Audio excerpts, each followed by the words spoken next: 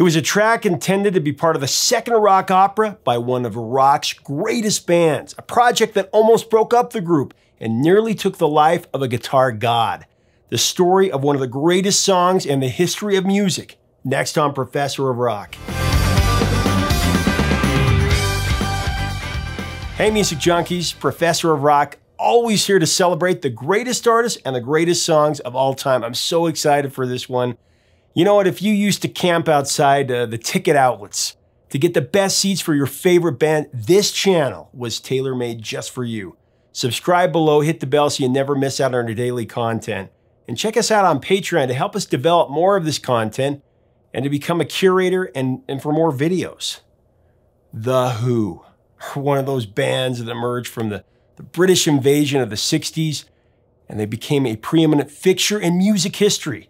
The Who shattered conventionalism, setting an elite bar for musicianship and artistic vision with a lineup of transcendent deity, rock deity, Pete Townshend with his intrepid guitar fury, Roger Daltrey with his booming vocal thunder, the improvisational brilliance of bassist John Entwistle, and Keith Moon, who many regard as one of the greatest drummers ever.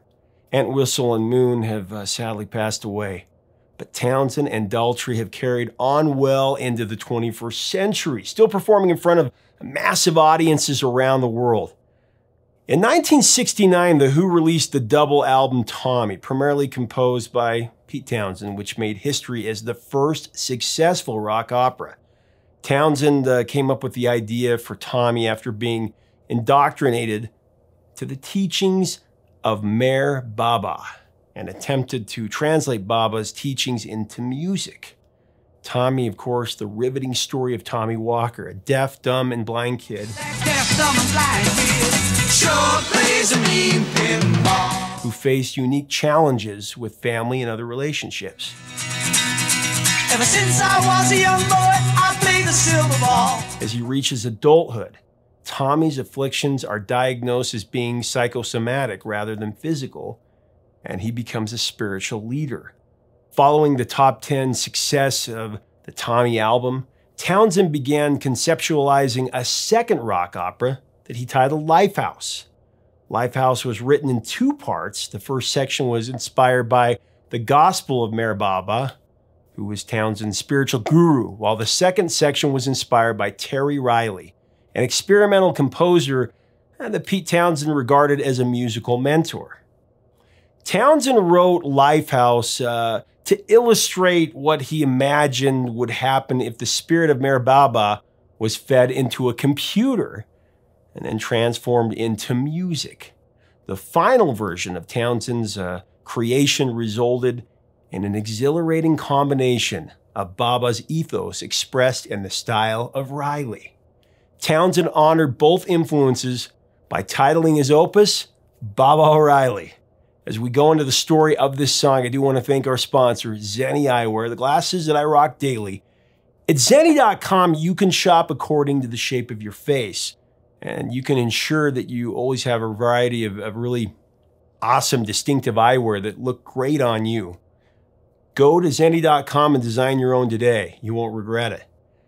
Many of the keyboard riffs and sound effects on Baba O'Riley came from Terry Riley, actually. In 1970, Pete spent several weeks experimenting in his home studio before putting together the part of Baba O'Riley that sounds like a synthesizer that was actually played on a Lowrey organ.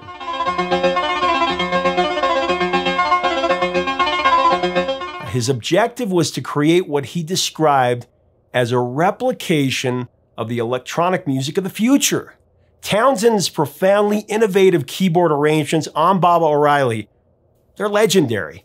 But when truth was told, Pete never achieved the sound that he was actually searching for.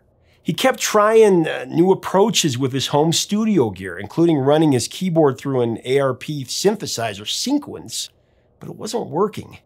Pete then used the marimba repeat setting on the Lowrey organ to create a complex uh, roulade pattern. Uh, Townshend laid down his instrumental track to tape. He took it to engineer Glyn Johns for his review. Pete expected Johns, you know, to alter what he recorded, but Johns was dazzled by the sounds, dubbing what he heard as perfect. Townshend's Lifehouse was set in an era where much of England was a polluted wasteland. Uh, Townshend portrayed his central figures as a self sufficient dropout, family farming in a remote part of Scotland that decides to travel back south to investigate rumors of a subversive concert event that promises to shake up an apathetic and fearful British society. Very deep. The lead character, Ray, is married to Sally, and the two of them embark on a quest to find their daughter, uh, Mary, who has run away from home to attend that concert. They travel through the scarred wasteland of Middle England in a motor caravan, running an air conditioner they hope will protect them from pollution. Sally, take my hand, will travel south, cross land, put out the fire, and don't look past my shoulder. The exodus is here. The happy ones are near. Let's get together before we get much older.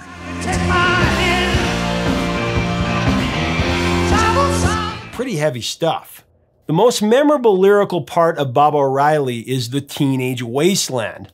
That segment of the song, so much so that uh, more often than not, the track is referred to by many as Teenage Wasteland. Teenage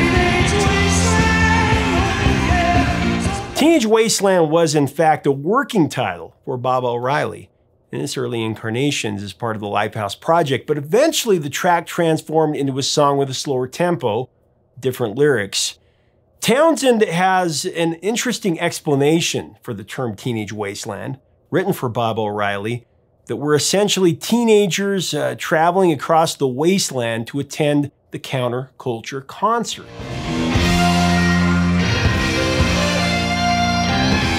In Pete's words, it's mainly young people who are either farmers' kids whose parents can't afford to buy them experience suits. Then there's just scum like these two geezers who ride around in a battered up old Cadillac limousine and they play old Who records on the tape deck. End of quote. Pete called them track fans, in fact. Two of the most storied music festivals in history, held in 1969, were major influences for Townshend's Teenage Wasteland, the narrative. The Isle of Wight Festival, and of course the infamous Woodstock, both of uh, which The Who performed as a principal act. Townshend recalled looking over the bounteous field at the end of the band's gig at the Isle of Wight Festival and uh, seeing the grounds covered in rubbish left by fans, which inspired the line Teenage Wasteland. The Who's experience at Woodstock, where they went on stage at 5 a.m., was also deeply affecting. Townshend described Woodstock as the absolute desolation of teenagers with members of the audience strung out on acid. That was his quote. Ironically, legions of listeners interpreted Baba O'Riley as a teenage celebration, a declaration of generational independence.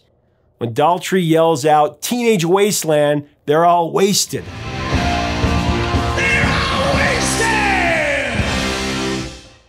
Love that line. Townshend uh, administers a scathing guitar solo after Daltrey's declaration that transitions into a symphonic coda highlighted by the frenetic drama of Dave Arbus's violin solo.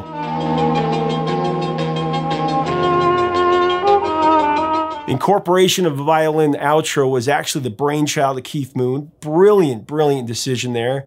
Uh, Keith Moon, of course, whose wild, impetuous lifestyle transformed into a musical madman that was worshipped by his peers. The Who recruited Dave Arbus as a guest musician from the progressive rock group East of Eden after leaving East of Eden and lending his indelible contribution to the Who's Rock Classic, which brings a sadness to such a lively track, Arbus became an English instructor in Saudi Arabia. You can believe that. Following his stint as a teacher, he did some modeling and furniture crafting before ultimately reinventing himself again as a painter. The original demo of Baba O'Riley clocked in at over nine minutes.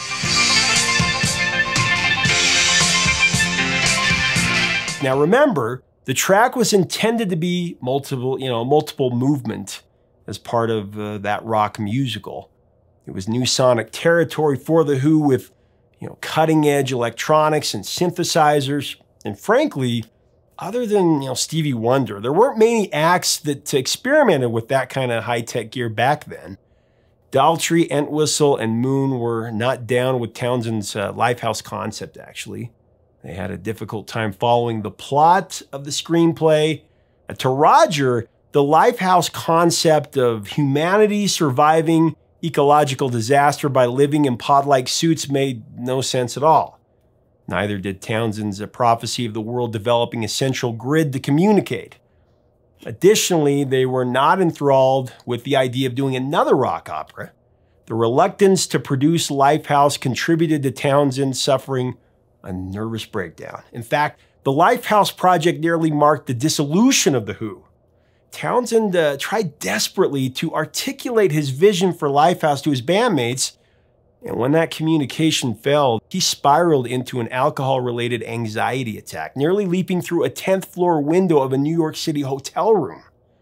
Um, the swift action by an assistant who was in the room during Townshend's freakout saved Pete's life, actually, with the assistant uh, physically blocking him from jumping to his death. The incident was Townshend's wake up call, really. He was uh, drinking and working way too much. Uh, but Townshend was the world's most conflicted rock star, you have to remember. Meher Baba preached peace, love, and a drug free existence. It was a welcome alternative to uh, The Who's chaotic lifestyle, but, you know, one that Townshend found difficult to fully embrace, as we all do. We all have our vices with the best of intentions to overcome to be our best. The rest of the Who were almost as conflicted. Roger Daltrey, who is the only member of The Who who hasn't uh, had substance issues, he was not interested in narcotics and barely drank. Entwistle and especially Keith Moon regularly uh, binged on booze, pills, and cocaine. Townshend avoided cocaine and had sworn off LSD since 1968. He was, however, still drinking and heavily. Uh, Roger Daltrey confided that the whole ordeal was the closest that the band ever came to breaking up. When Pete Townshend recovered from his breakdown, Lifehouse was aborted in favor of a non concept album titled Who's Next? That included Baba O'Riley and seven other tracks that Townshend had written for Lifehouse. Who's Next became the best selling record of the band's career, though, and turned uh, this most dysfunctional British mod group into one of the world's most famous of the entire rock era. Who's Next was released uh, in August 1971 it went to number one in the UK. Consistent FM airplay on Baba O'Riley.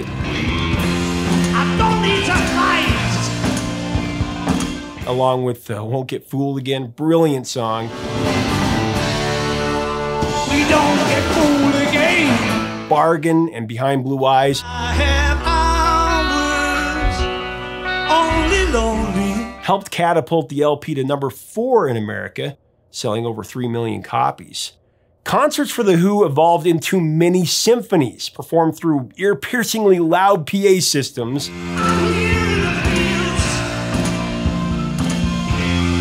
Actually, The Who made the Guinness Book of World Record uh, for having the loudest concert in London on May 31st, 1976. One could effectively claim that The Who was the first stadium rock band, for sure. Baba O'Riley was not released uh, as a single in the US or in the UK. Amazing. But it was a single in other parts of Europe. Its highest chart success as a single was in Holland, where the song reached number 11. If any song in the history of rock deserved to be number one, it's this one, I'm telling you. Roger Daltrey performs most of the lead vocals on Baba O'Riley, with uh, Townshend doing the honors in the more subdued middle eight.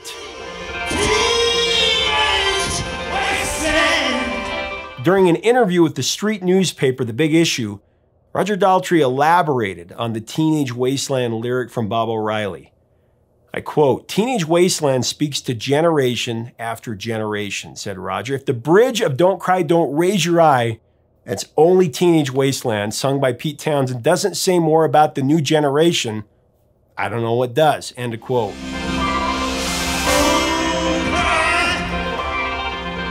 Roger added that the main advice he can give to youngsters is to be very careful with social media. As Daltrey put it, and I quote, life isn't looking down at screens, it is looking up. God bless you, sir. He also said, and I quote, you're heading for catastrophe. With the addiction that is going on in the younger generation, your life will disappear if you are not careful. You are being controlled, and that is terrible. End quote. Well, to the younger generation, I say, put your smartphone down, put, put away the video games, and put the Who's Next on the turntable. This is what rock and roll is all about. I mean, the first time I heard this song, was, it was a revelation I can't quite put the, the feelings in the words, but I'm to try, as I always do. The first part made me curious, but as soon as the bum, bum, bum, as soon as that part came on, it's like my heart leapt out of my chest. It was the sound of freedom.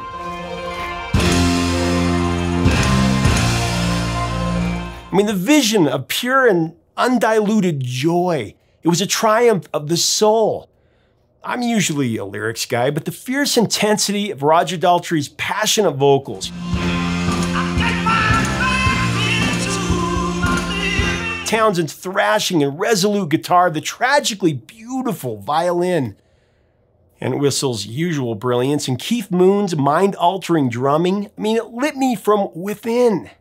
I was a different person after the song finished. The world was just new to me.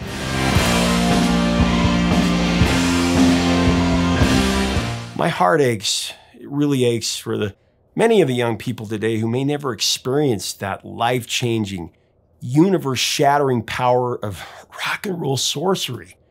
It was like an out-of-body experience. I felt like I, I floated two feet above the ground for like days after. Baba O'Riley is rock and roll at its height.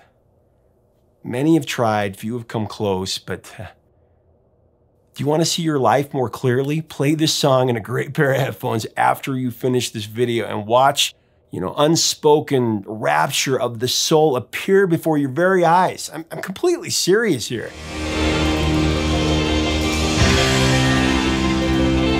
Baba O'Riley is always there to put it all in perspective for me. It's just the sound of freedom. I don't have to be controlled. I don't have to be in a funk. Freedom is just a few notes away.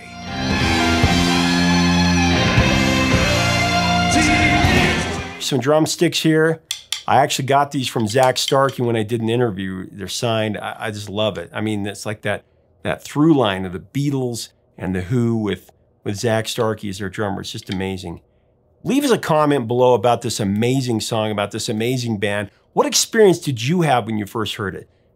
If you like our content, we do invite you to be a part of our community for good. Subscribe right now below.